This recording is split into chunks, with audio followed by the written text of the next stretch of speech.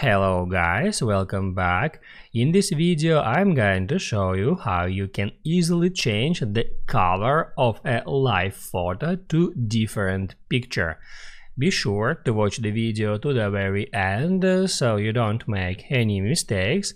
And of course, do not forget to like this video and subscribe to my channel.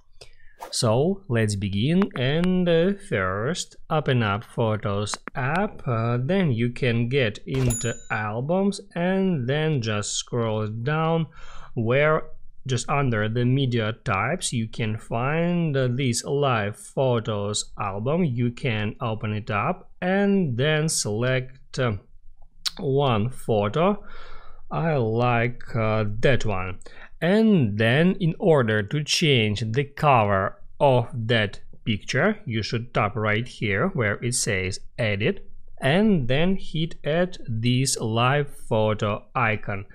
Now you are able to drag this bar left or right to select the best frame and then just hit right here where it says make key photo.